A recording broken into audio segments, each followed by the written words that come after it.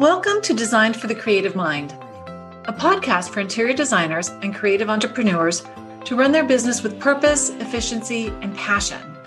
Because while every design is different, the process should remain the same. Prepare yourself for some good conversations with amazing guests, a dash of Jesus, and a touch of the woo woo, and probably a swear word or two. If you're ready to stop trading your time for money and enjoy your interior design business, you are in the right place. I'm your host, Michelle Lynn.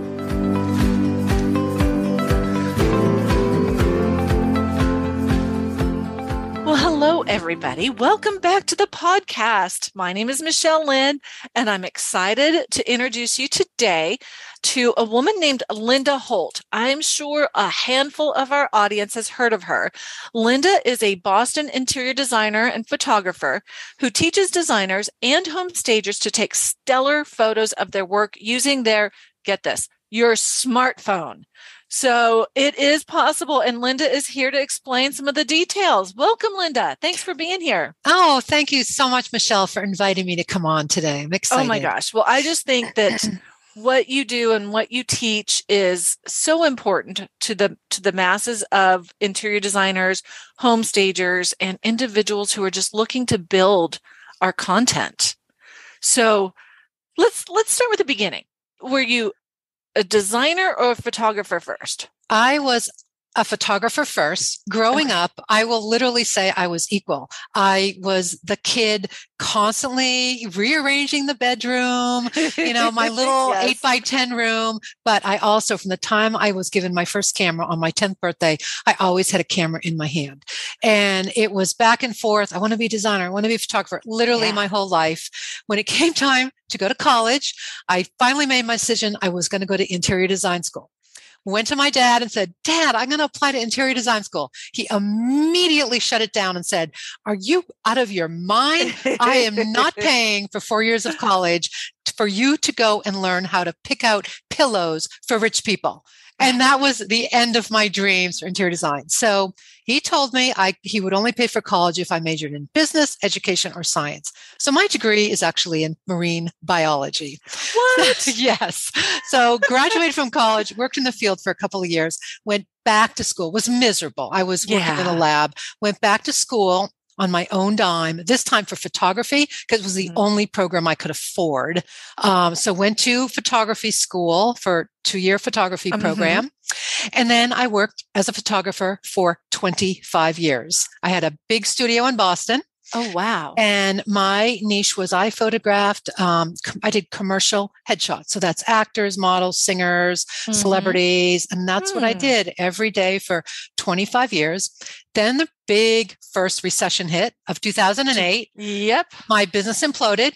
And at that point, honestly, after 25 years, Michelle, I had been so burned out. Yeah. I said, okay, time to reinvent myself once again. Mm-hmm. I went back to school now I could afford it. I went back to design school. Um, and that was in 2008. Opened up my business, Linda Holt Creative, in 2011 and was doing design. And, mm-hmm. you know, so that's sort of how that whole evolution came. So, how did you get involved in teaching smartphone photography? Because it is such a different. I mean, I'm picturing the uh, the big cameras and the yeah. lenses and all yeah. the things. oh yeah, to schlep around. Oh yeah, I had uh, all of that. Well, yeah. what actually happened was I knew nothing about smartphone photography, and I, you know, when I got my early smartphone, my early ones were um, iPhone, mm-hmm. and my pictures looked like crap, and I was so frustrated, and it was embarrassing. I couldn't post them or do anything with them. Here I was, especially uh, with your background exactly, a- and everybody knew it. So I just I did what most people think about their smartphone. I thought of it as a crappy you know cell phone camera and it was mm-hmm. just you know if i had to take a quick point and shoot they always were dark they always were out of focus they always were crooked i didn't know any better and then i honestly had kind of like a life changing experience i went to a seminar and this woman was teaching a, a course on uh, how to get better photos using your smartphone. And on the projector behind her, when she was giving her talk, were like mm-hmm. half a dozen magazine, shelter magazine covers. You know, it was Martha Stewart Living and Coastal Living and the photos were amazing. And she told us she had done taken every single one with her iPhone. And Wow. I literally almost fell out of my chair. And I came home. She never did tell us how to do it. All she did was brag about how great she can do it, but she never told us how to do it. So but the I idea came- was born. Exactly. And I came home and I started Googling how do you get better photos with a smartphone? And I just, I spent a year and a half figuring it out. I finally, you know, really mastered it. And it, it's not like the smartphone comes with an instruction booklet of how to take great photos. right. And as my photos started to look really good, my friends would say, Oh my God, that looks beautiful. How did you do that? I started telling them what I learned. And it just, everyone kept saying to me, Oh my God, you should make a class. You should do a course. Everybody needs to know this.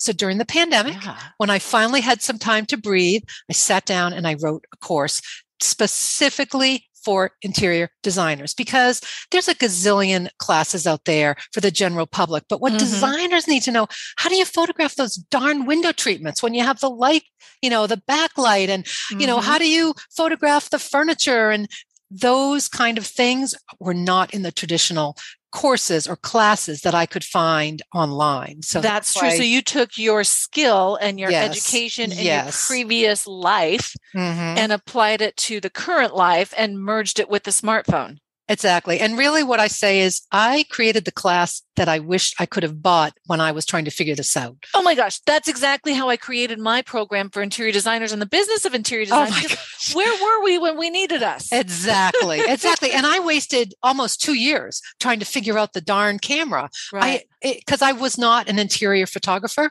I was a headshot photographer. So not only did I have to learn how to use everything that the all the hidden features and everything Mhm. about the camera, I didn't know how to shoot an interior. I didn't know what angles. I knew nothing, literally nothing oh, about interiors. Right, right, right. Because you were taking photographs of people and it was just their headshots. It wasn't even Yes, lifestyle in exactly. situations. And it's a totally different skill set, honestly. An interior photographer from a from a portrait photographer. Mhm.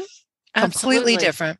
So let's let's just talk about your course a little bit right now. Mhm. So tell us about the smartphone class. I'm, I'm my my curiosity is piqued. Yeah, so um, it's an online class, and I created a class whether you're an Android user. There's an Android version of my course and an iPhone version. Because first I did the iPhone, and everyone's saying, "Oh, I want to do an Android," so I did an Android version, which is Samsung or Pixel. Those are the two I focus on. Mm-hmm.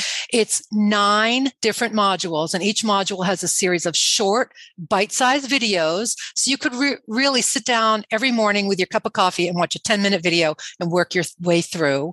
Um, once you purchase the course, you own it forever. So you can watch it whenever you want to. I update it at least once a year. And at, every time a new phone comes out, I do a whole new module on the latest phone. Oh, that makes sense because the things are technology's changing. Always changing. And I will tell you the, the phones today, the new ones, they rival any DSLR camera I ever used in my life. They are amazing.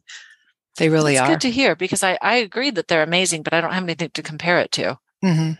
Except for the filters. I love the filters. Yeah. okay, so you're talking about the difference between interiors and just taking photos and of everything. So I take really good pictures of my daughter. She's Mhm. super cute and easy to take Mhm. pictures of. yeah. But what is the biggest mistake that designers make when they're photographing when they're make when they're taking photographs with their smartphone? Like what what do we do wrong? Right. Well, there's two things that immediately come to mind. Number one, most people are holding their phone wrong. Most Oh. people hold their phone up by their face, obviously. So they're looking at the back of the camera. And then what Uh-huh. are they doing? They're tipping it down. Now, the problem with all smartphones is Mhm. the normal default lens, the lens Mhm. that when you open up your camera, that it opens up to is actually a wide angle lens. It's comparable to a 28 millimeter lens on a digital camera for people that work with digital cameras. Uh-huh. That's considered a wide angle lens. And with wide angle lenses, you're going to get perspective problems. In other words, your lines are going to bend inward or outward, similar to, say, if you've ever seen a photo taken with a fisheye lens, the lines yes. Do a big circle. Well, the wider the lens, the more the lines bend. And when you tip your phone down to take a photo, because it's up by your face, Mhm. all your lines in your image are going to start off wide at the top and they're going to just bend inward at the bottom. So that's like the biggest mistake designers make, which is why their rooms are Oh. always off in perspective. You really want to hold your phone on the same plane as what you're shooting, which if it's an interior, it's more down by your waist than so up should you get down and kneel and take your I- photos from there? I do. I kneel, but Huh. um, just getting down low, you know, and Right. if you're tipping your phone down, you're going to get perspective problems. And also if you're tipping your phone up. So if you're shooting like high up on a window treatment or something, just Mhm. know you're going to get distortion. And that's when obviously if you can't get up and hold it on the same level, Right. that's when you have to go in and do some editing in an editing app to fix that those perspective lines. Oh, what a, that's interesting. So, what are your thoughts on designers actually? I mean, because I'm blown away that you said those magazine covers. Mm-hmm.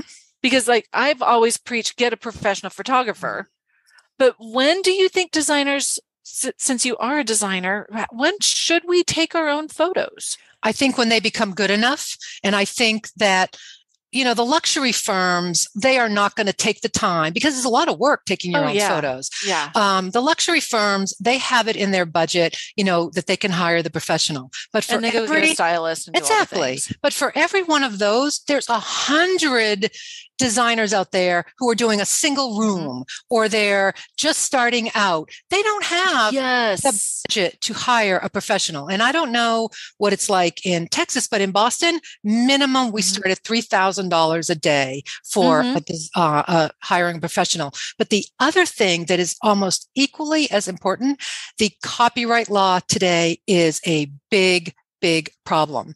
And Oh. if you take your own photos, you own the copyright. If you hire a professional, you do not own the copyright. And there are, I don't think a day goes by that I'm not hearing from a designer that they're being sued because they used a photo that they didn't take somewhere else. In fact, I currently have a friend who's being sued by her own photographer because she was chosen as designer of the month for an for a, a, a company and they put her online and she mm-hmm. you know shared some of her designs with this Right. company. They put them online. The photographer is suing her because he didn't give her permission to send those photos to this. I won't say who the company is, but you will have heard of it. To send the photos to this company so they could use them online. So copyright is a big Did issue. she credit him? I'm just curious. Did she give him credit in the photos? I honestly don't know that, but because what a a lot rude. of money for these photos. But another friend of mine, she took my course. She had the budget to hire a professional. uh-huh. Um, the night before the photo shoot, she got a 11 page copyright contract with listing all the reasons, all the things she could and couldn't do with the photos. So she canceled the shoot and she did it herself. And you would not know they weren't taken by a professional. They came out great. Wow. Yeah, that just sounds like you know this the photography industry is getting in their own way. It's you- it's that becoming makes sense. big problem. And honestly, you know, I'm speaking as a former professional photographer and they're scared. I, I and they're going to say, "Oh, that's not true at all," but they are because the cameras, they are amazing. The new cameras do a great job and if you can learn the features of your camera, how to position and hold the camera, there's no reason why you can't do your own photography. But I think it's scary for a lot of people because they just have the mindset that, "Oh, I can't. My pictures are terrible." But that's Well, really yeah, they're terrible now, but go take your course and they're not going to suck as bad. Right. And then you practice Right. a little bit and they're going to get good. Exactly. It's a little practice. You have to put the time in, but it will really pay off in the end. Oh, wow. And then it's so much easier to schedule. And then you can use your photos however you want. You can tag vendors and you know if you have a photo that you took and you want to Mhm. tag the vendor, the products in your photo, you can tag them. You can't do that if you hire a professional unless you get specific permission that you can, you know, use them for a vendor. Or if a vendor says I want to share your photo, Right. that light that you that you put in that room, if you share it and you didn't get permission from your photographer, you can be sued.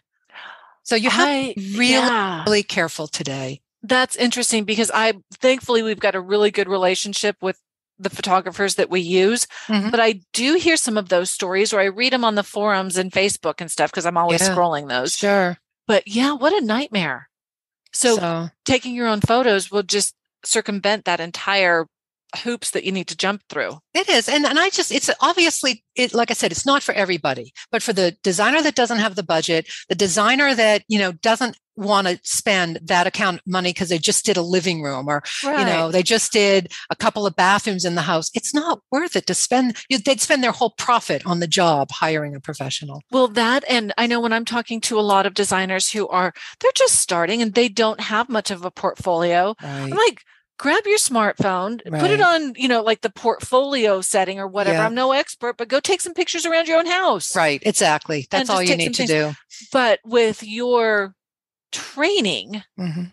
they could take it past that and take it to a client's house. And like you said, if it's just one or two rooms and you don't necessarily need to hire a photographer for a bucket of money, Right. It's a great jumping off point. It is. And it's really a way to get started because at least they'll have good photos for their portfolio. Yeah, because that is so important. And that's And- like that chicken and the egg, which came first. Exactly. And also where the smartphone really shines is on the vignettes. Mhm. You know, where it gets complicated is the big windows and the lighting and all that. But if Mhm. you're shooting vignettes, the smartphone does an amazing job. Um, you would not know the difference between a, you know, hiring a professional and doing it yourself because the Mm-hmm. smartphone will do almost everything for you. You just need to learn how to use it. you were talking about hidden features. Mhm. Are there just things that I guess they're just hidden features that we Oh, don't you- know exist for the phone Right. for the for the phones? Right. Like you can set the exposure manually, the focus manually. There's night mode. So if you're shooting a bathroom with no windows, an internal bathroom, you can put it into night mode. You will have to use a tripod because it could be like a, you know, five or six second Oh. exposure. Um, there's burst mode, there's live mode. There are all of these features that people just think their camera is a point and shoot. And that's why they're not getting the results because they really don't know how to use it. But it's just like any tool. You Mhm, have to be able to study it and and and implement the details that go with it. Right. So I'm going to put you on the spot here. What are Mm-hmm. 3 tips that you could share to immediately improve somebody's smartphone photos? Well, number one, we just talked about absolutely hold the phone on the same plane as what you're shooting. Mhm. That way, Okay. it will minimize your lines and to help So you do either climb up on a step stool, kneel down, whatever you need to be doing in order to get in line. And to help you know that it is level because sometimes it's kind of hard to tell is to Mhm. turn on the in-camera grid and to do that if people don't know what that is you just Mm-hmm. go into settings scroll down till you find camera click Mhm. on camera and then click on grid and what the grid is it's a series of horizontal and vertical lines that will show up on your camera screen it won't be on your finished picture and you Mm-hmm. can line up something in your photo to the grid line that you know is horizontal or vertical like a cabinetry or a windowsill or you know sometimes Dining table, anything anything back that of a sofa. exactly. And so the grid lines if you're not lined up you're not holding your phone level. So that's one little thing i would say. Number two definitely get in the habit of setting the exposure and the focus manually. That's so important because when you're in an interior and maybe people listening to this have experienced this the interior will look dark Yes. why that happens is because the in-camera light meter is always going to expose for the brightest area. So if there's a window, it's going to want to expose for the outside light, which Oh. causes the inside to go dark. But Uh-huh. it's very easy to override that by setting the exposure manually. And you can do that depending what kind of phone you have, but it's Mhm. very easy to do that. You can either tap anywhere on the camera screen, you know, in a corner, a dark corner, or anywhere. And if you tap on the screen, that will tell the light meter to expose there. Or you can tap and hold until a yellow box appears on the iPhone or a yellow circle appears on the Android. And if you slide your finger up and down the screen on the iPhone, it will make it brighter or darker. And if you scroll it left to right on the Android, it will make it darker and lighter. Oh, interesting. I didn't know about the tap thing. So you tap in Yep. the corner and it just automatically goes to that. it wherever you tap that will tell the light meter expose here so that's a real quick way to do it if you're in a room and it looks dark and there's a bright area and a dark area you want the dark area lighter tap on the dark area That's very cool. Okay. or you can even like have more control by bringing up the box and the, or the circle and with that you have to hold your finger for a second or two until it comes off I think comes I've up. done that in the past.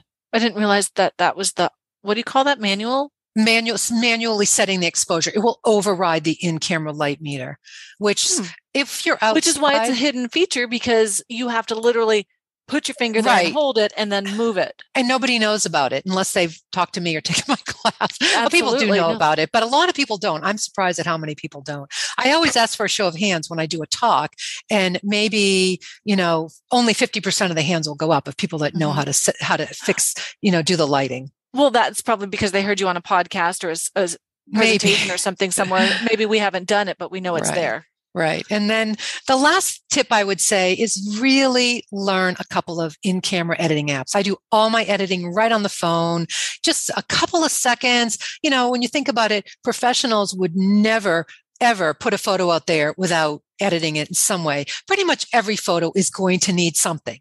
Maybe, mm-hmm. you know, the lighting adjusted, the saturation, especially with an interior, maybe adjusting the perspective. But the camera in camera editing app is great. There's also plenty of outside apps that are that are fabulous. So just get in the habit um, of using and getting familiar with a couple of editing apps just to take your photo over the line to great.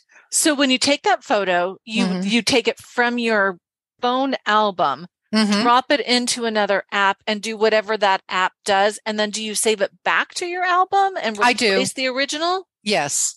Um, you have a choice. Um, the, the app that I like, the general overall editing app that I use mm-hmm. is called Snapseed. It's very similar to the in camera editing feature. There's just a few more things you can do with it. Um, mm-hmm. And I actually like Snapseed better. It's what I started on. I've been using it forever. But Snap, fast. I'm very fast. I do it in seconds. 30 seconds would be a long edit for me. But again, I've been doing it for years. Mm-hmm. But I will tell you, Michelle, my technical skill is that of like a four year old. So, and I learned this app in about 15 minutes. It's that user friendly and that easy because when I was shooting professionally all those years back, first of all, there was no such thing as, I mean, I'm really dating myself, but there was film cameras there was no right. computers. This was even before computers. So there was no Lightroom. There was no yes. Photoshop. You had to send your finished prints out to the retoucher. Yes. And the retoucher would do a process called airbrushing, where they would actually spray paint your images to like in my case it was reducing women's you know lines around their uh-huh. eyes and cleaning up men's beard lines and and it would take weeks and it was really, really expensive. So for me to be able to edit a photo on my phone, it's like I have died and gone to heaven. What could be easier? And I always struggled once, once I did get into, you know, we had computers. So we evolved from airbrushing onto online Photoshop. Right. It's a huge learning curve. I struggled with it. I actually ended up paying somebody to do it because again, a four year old couldn't do it. I can't do it, but I can do the phone editing apps, especially Snapseed or the in camera app. It, they're so easy. Well, that and it makes sense because once you do it and you master, you master it and you keep doing it over and over and over again, you just keep getting better and better and faster and faster. Yep, exactly. Oh, and I do it while I'm watching TV. I mean, it's just whenever I can be standing in the line at the grocery store yeah. and have, you know, a long line. Oh, I pull up a photo and do a few edits on it. And again and then you're good just, to go so are you available for hire do you As, do photographs for other people or well you, it's funny you ask that because i generally would say no but i have three different designer friends who have begged me to help them. So I actually oh, am going yay. to do my third photo shoot um, on Saturday of my friend's project, um, mainly because I'm I'm doing it for free because I always mm-hmm. am wanting to get more material for my mm-hmm. course. And the biggest part of my course is interior photography. I have yes. five five modules on that, uh, five videos under that module of interior photography. And I always want to keep it fresh. So, mm-hmm. and every situation is different. So this home seems a little more complicated. Um, it's just one room that I'm going to be shooting for her mm-hmm. on Saturday, but I want her to videotape me shooting it with my smartphone so people can actually say, Oh, so yes. that's what she did. That's where the their camera is. That's how she did this. That was her positioning. Because you can say, talk, you know, show photos. Well, this mm-hmm. is what mm-hmm. I did, but people want to see, at least yes. I do, not just tell me how to do it, show me what you did to get that result. But so, if you think about it, if a picture's worth a thousand words, a video's worth a bajillion. Right. Especially right. when it comes to talking about photos. exactly. Exactly. That's genius, Linda. Yeah. And that's going to be great to add into your content. Yes. Yeah. Okay. I've done one already. So this will be the second. Who knows? Maybe you're reinventing yourself again. I know. I'm not out. I'm not getting back into photography, but I love it. I mean, for me, it's the perfect combination of my two loves, yes. photography and interior design. Uh, that is, and isn't that the best when you find that lane that you know you're supposed to be in? It's so funny. I think about it all the time, Michelle. You know, yeah. I started off and I wanted to do both, and then I chose one. My father shut me down. Mm-hmm. Then I went mm-hmm. back and did one that I could afford. And then I was 50 when I went back to school for interior design. Uh-huh. And finally, now I really honestly feel I have come 100% full circle in my life. Yep. And you're I'm exactly 10 years old again. Yep. I'm decorating yes. my room and carrying my camera around. and that is also something just to go down a bunny trail is like for our listeners, you're never too old. Exactly. And I tell that my son is 30 and he's always mm-hmm. bemoaning, oh, I should have done this, should have done. I'm like, listen, and I always use myself as an as an example. Look at me. I'm mm-hmm. old and I'm doing I, I'm reinventing myself all the time. It's a mindset. It's totally, it's totally a mindset. A mindset. I don't know if you know this, but I adopted my my daughter when she was a newborn, and I was 48. Mm-hmm.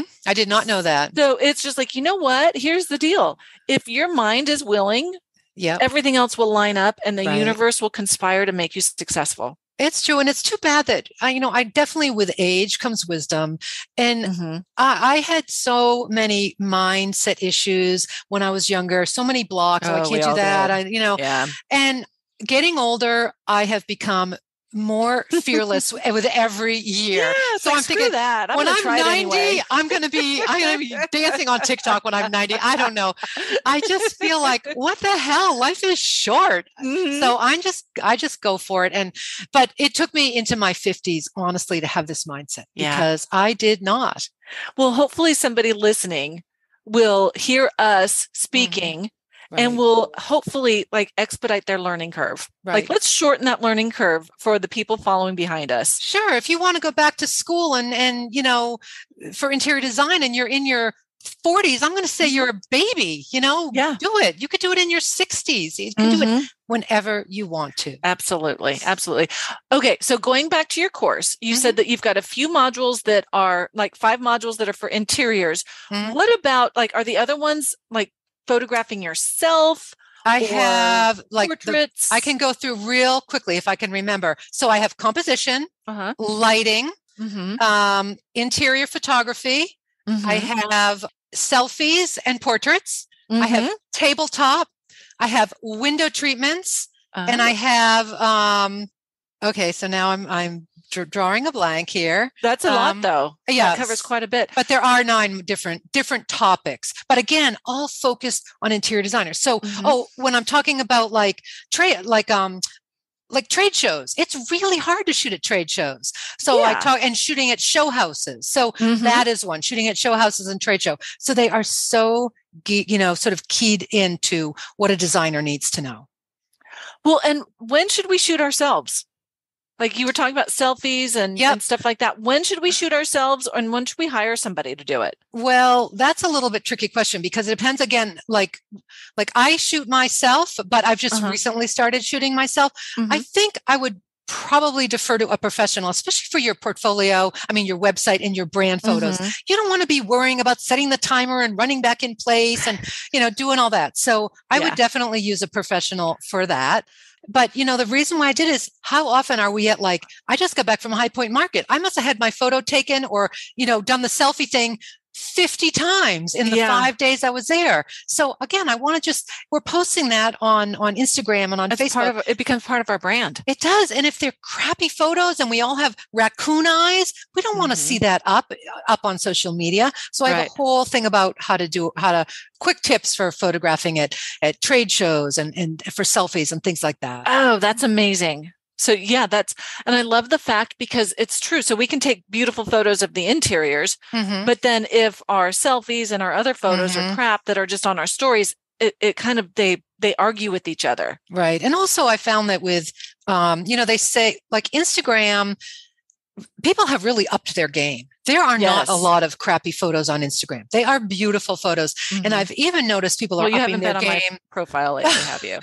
no. I've even noticed in stories where it used to be, oh, stories would be the place you would have not edit anything, just throw it up there. Yes. Even on stories, people are getting posting great mm-hmm. photos in their stories. Yeah, it's pretty crazy. Although I will say, thankfully, there are those aforementioned filters. Yes. Oh, yes. that take a little bit of the work yes. out of those selfies. yes, exactly. It's like the Zoom filter. I have that baby turned all the way up to 100%. There's a Zoom filter? Hold on. Oh, yeah. I didn't know that. Yes, there's a Zoom filter. It's called the appearance filter. Oh, and, I'm gonna have to find that. Oh yeah, it's in it's in settings, and mine is all the way up to 100. percent If it go to a thousand, I would put it up there. That's there. Amazing. I'm gonna check that out in just a little bit.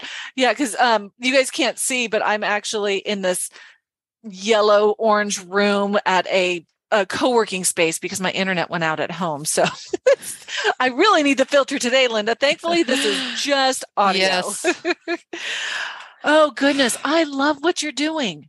Thank you. I'm loving it too. I'm really, I am so passionate about empowering designers because I honestly mm-hmm. think they've kind of been, you know, kind of sold a, a, bill of goods that isn't true where oh you can you oh have to hire a professional you have to you have yeah. to you do not have to but you have to have great photos so if you mm-hmm. don't want to take the time to learn it yourself then yes you have to hire the professional but if you're willing to invest a little bit in time and money mm-hmm. you would not you will not have to hire a professional again or another tip is hire the professional for what i call the money shot hire them for that big mm-hmm. room with a window light coming in and they want to see the ocean in the background but all the furniture needs to be in in view okay that is definitely very complicated because it's multiple shots and it's editing and um, sandwiching them in to making one photo hire the professional for the really difficult shot mm-hmm. then send them home just say i want you for you know one shot you can do all the vignettes because remember that is where the cell phone really shines is with the mm-hmm. vignettes mm-hmm. and the clients while they want to see those large photos, mm-hmm. you're going to still have a lot more content when you're going through and taking those smaller vignettes. And you can also show the level of detail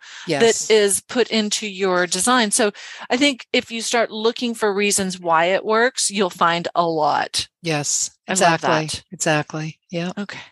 Well, Linda, I love talking business and I get I get so excited, especially about empowering the, the our industry but in the interest of time for our audience i want to switch into our next segment which is our rapid fire q&a session which is just nothing's off the table and our audience gets to know you just a little bit better on a okay. different level. Oh god this is the scary part okay. Well we will start off easy. What is your favorite flavor of ice cream? Oh Gosh, that is a tough one. I'm easier probably to say, what don't you like? Because I like all ice cream. one kind I don't like. I guess if I had to pick my favorite favorite, uh-huh. uh, mocha chip. Oh, yum. Yum, yum, yum. Okay. What is the best compliment you have ever received? Um, your kids are great. Oh, I love that. When was the last time you laughed until you almost peed yourself? Oh my gosh. Um, I would say about a month ago when I had lunch with a friend and we I thought we were going to be thrown out of the restaurant. We were laughing so hard about something. those are always good ones. uh, what is your favorite productivity hack? Um, I use an email filter called Sane um, Sane it's SaneBox and it divides my emails uh-huh. into uh-huh. like important ones later news, blogs, and I can filter them out. So I used to get like hundreds and hundreds of emails today a day. Now yes. I get like five or six emails a day. Oh, I am going to go check that out. It's called it SaneBox. That's my Amen. favorite favorite because email for me was a struggle. I was always missing important emails. I was flooded with spam, mm-hmm. and they have something called um, black box. So uh-huh. if you get uh-huh. an email and you don't want to go through the hassle of unsubscribing, put it in black box. You'll never get it again, and no one will know you've unsubscribed. So if you have some oh, vendor oh, yeah. that you don't want to offend by unsubscribing or, or a friend who publishes a blog that you never read, yeah. slip it into black hole and they'll never know. oh, amazing. I'm totally going to check that out. okay. If you could have one superpower, what would it be? Oh, superpower. Um, being able to speak every language that there is. Because I love to travel cool. and I want to be able to talk to everybody when I go places. So mm-hmm. it would mm-hmm. be at least knowing 10 languages. That would be amazing. Can you imagine the efficiency you could travel? Oh, yeah. Yeah. yeah. Okay. Any belly button or outie? Uh, any. And what, what is your biggest pet peeve? Uh, corner fireplaces. and I have one to make it even worse. yes, that's perfect for this audience. um, where do you find inspiration? travel, and nature. There you go. Going back to your 10 languages. Yep. Okay. What would you say is has bleh, excuse me has been your biggest failure and what did you learn from the experience? Um my biggest failure. I'm trying to think of something recent. Well, mm-hmm. maybe um not that long ago, a year ago, I decided to do a different way of introducing my class and I did this big live launch and mm-hmm. it was a failure. For me, it was a failure. I didn't sell nearly as much as I wanted, went back to the drawing board, started all over again and relaunched and then had a successful one. But for me, that one that I'd put so much time into, it was mm-hmm. just did not work. Interesting. Interesting, interesting. Yeah. And uh, you learned just what your audience needs. Yep. Yep, exactly. Well, and that goes back to you you can't be uh, I don't think we talked about this today, but you can't be all things to all people. You have to honor exactly your own lane and right. you will attract the people that understand and, re- and and relate to it. Yep, exactly. And that is um you know, I I listened to people that I shouldn't have listened to, and mm-hmm. they well, what I actually did was I created a a general public photography class for a mm-hmm. just a, mm-hmm. and I shouldn't have. I knew I needed to just stay with designers, but I had several clients and mm-hmm. friends say, "Oh, I I don't I'm not a designer, but I really would love to take your class." I created the class and it was a huge amount of work, a huge amount of time, and I, I had this big launch and I sold 3. wah, wah, wah. I know exactly. So that was it. I I still have it. I've mm-hmm. not promoted it since, and I've gone all in and just really focused on making my my signature course for designers and stagers the best it can be. And yeah. I'm always tweaking that and just there's there's go buy somebody else's photography class. there you go. Either that or buy it and just ignore those other five modules. Exactly. okay, so last one is actually two more. What is your favorite book? Oh, um I just read a book that I loved and it was called um, The Big Leap and that really resonated with me. Um, I can't think offhand. It's Actually, not Simon's. Yes. Simon, no, no, it's not him. No, okay. it's yeah, I know what Gay, Gay about. Gay Hendrickson, I think it is. Gay. Okay. And I really resonated with this thought of you hit these plateaus mm-hmm. and you mm-hmm. self sabotage, and you really have to like get through that to get to the next level. And I have found that in my life. I, mm-hmm. you know, when mm-hmm. things don't go well, I, I, I just I resonated with with the book. So that's the big leap. Yeah, I really liked that a lot. I have seen that. I might even have it on my list. I might just have to hit it, put it in the cart. Yeah, I like that buy. one a lot. Yep. Okay, good to know. So the last last question, yeah, is if you could have dinner with anybody, past or present, who would you invite? Dian Fossey. I know that's a weird one, but I'm a nature lover and I would love to talk to her. She's the woman that she's the one that goes to the in the um the rainforest apes apes in the mist. She studied the apes. She lived in the rainforest for 40 years and studied the um the apes in Africa. Oh, that would be an interesting conversation. What do you think you would serve? I don't know. I'm just a sign. Oh, what I would serve? What would you um, serve for dinner? I don't I know, know. That's a random question. Yeah, I don't know. That's not even on my list. She might. She. I don't she might be a vegetarian. I think I read that somewhere about her. Uh-huh. So I don't know something. Yeah, something. that would be an interesting conversation, though. But I've I've always admired her a lot um, because mm-hmm. she was really pioneered. Um, she was like the the pioneered the whole idea of conservationalism with a, with the animals and i am a you know science geek nature lover mm-hmm. love animals love all certainly love uh, conservation. So I right. just think it would be fascinating to talk to her. Agreed, especially as a woman to a woman. Totally off, off. I know, totally yeah. like what? oh no, that's that's one of those random questions. Like, yeah. who would you invite? You know, there's just like she just popped in my head. I don't know. There's a million people I'd love to have dinner yeah. with. It would just be one big party. Yeah, Oprah. I'd love to have dinner with Oprah. She'd be fun, or she would be inspirational. Yeah. Well, Linda, I know that our audience has loved everything you've had to say and are probably interested in your course. So tell us how we can follow you, how we can find you, how we can connect with you. Sure. So I am Linda Holt Creative pretty much everywhere out there on the internet. So if you type in Linda Holt Creative, that's what I am on Instagram. That's what I am on Facebook. That's my website. That's my, my email. It's everything.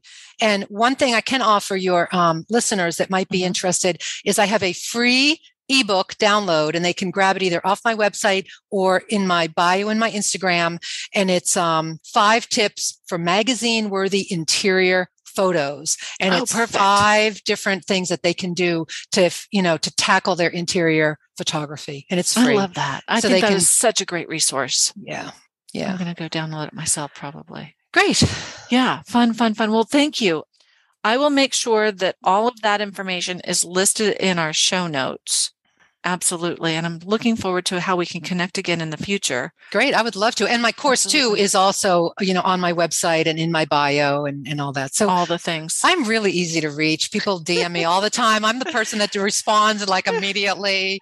Um, I don't have a staff, so if you DM me, it's me responding to you. I love that. That is so important too. It's just that's why it's called social media because it should be personal. Exactly. I have a just quick funny story. I'll tell you. I hired a 23 year old social media whiz kid back in the pandemic, and he would. I I did a Dropbox of photos, and then he was going to write the captions. I'd go through, read them, and approve them.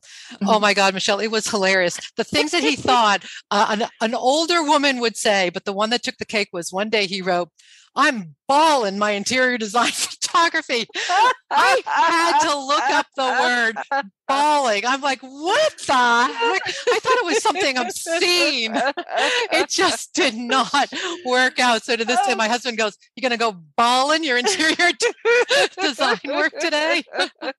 So I Oh realized after that, I have to do this myself. I can't have someone funny. else. that is greatness. No, I will say, admittedly, I I've had one, two, three different firms who were doing my social media. I finally found one that can capture my voice. I don't say ballin, Right. you know, but I do have a quirky voice and so forth. And it has just been as much as I love social media, I had to practice what I preach. Mhm. I don't make money posting social No, media. I I make know, money running my business and designing and stuff like that. But I Yep. do I answer my DMs because I Yeah. just think that's so much more fun. Yes, I agree.